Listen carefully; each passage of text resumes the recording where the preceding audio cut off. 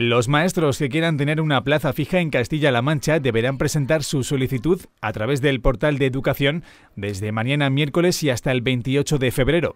En total se ofertarán 1.035 plazas, de las que 962 son de turno libre y 75 de personas con discapacidad. El proceso de oposición comenzará previsiblemente el día 18 de junio y se desarrollará hasta finales del mes de julio. Esta fecha no es todavía definitiva porque, lógicamente, también tenemos que tener y cerrar ciertos aspectos con el resto de las comunidades autónomas con las que sabéis que habitualmente solemos eh, estar de acuerdo en, las, en las fechas. En total se van a celebrar dos pruebas. Una primera que tendrá por objeto la demostración de los conocimientos específicos de la especialidad docente a la que se opta y constará de dos partes que serán valoradas conjuntamente desarrollo de un tema y prueba práctica.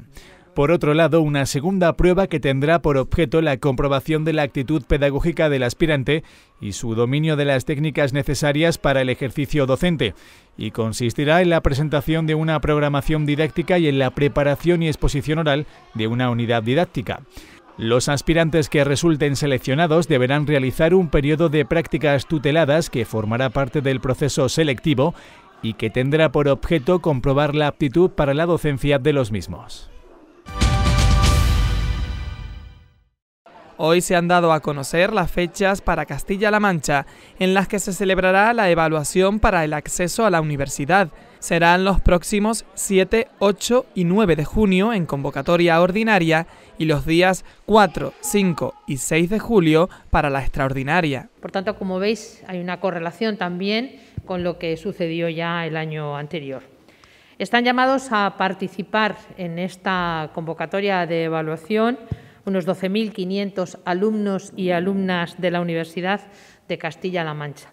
Los alumnos y alumnas de la provincia de Guadalajara que pertenecen a la Universidad de Alcalá lo harán en otras fechas que están todavía por determinar y que dependen de la normativa de la Comunidad de Madrid.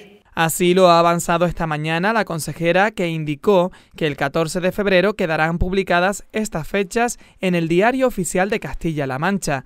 Asimismo, las pruebas se realizarán siguiendo el mismo modelo que se instaló durante la pandemia, ofreciendo más opciones para compensar el supuesto de que algunos alumnos hayan tenido que recibir clases por la modalidad online. En cuanto a los espacios, se espera, como ya ocurrió en los cursos pasados, que las pruebas se celebren en todas las ciudades en las que la Universidad de Castilla-La Mancha tiene sede, así como en institutos de secundaria.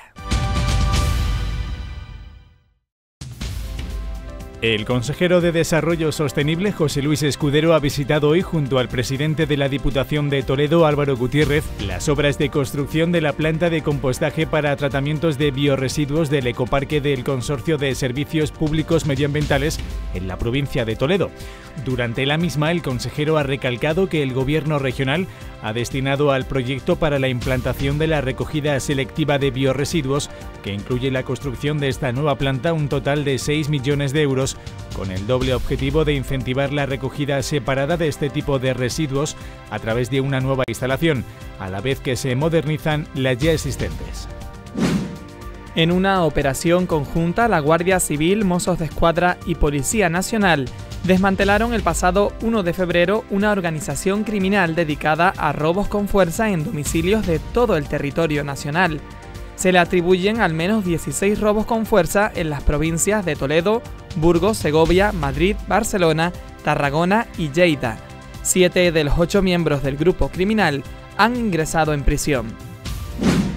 La Delegación Diocesana para el Cuidado de la Creación ha realizado la primera etapa del Camino Real de Toledo a Guadalupe, en la que han participado cerca de medio centenar de peregrinos.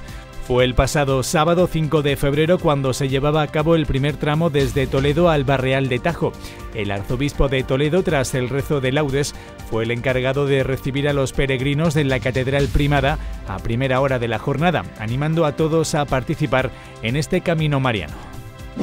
La Concejalía de Igualdad del Ayuntamiento de Mora ha convocado la segunda edición del concurso de fotografía Alma de Mujer como actividad para conmemorar y celebrar el 8 de marzo, Día Internacional de la Mujer. El plazo para presentar los trabajos concluye el 28 de febrero.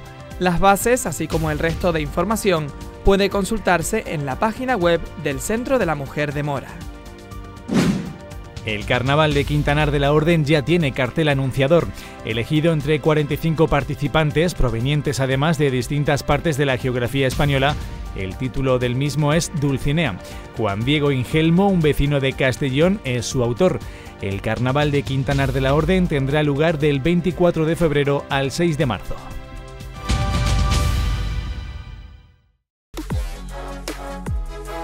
Pues esta noche les espero aquí en el Braserillo, en un braserillo muy especial, el Braserillo del Campo, del medio rural.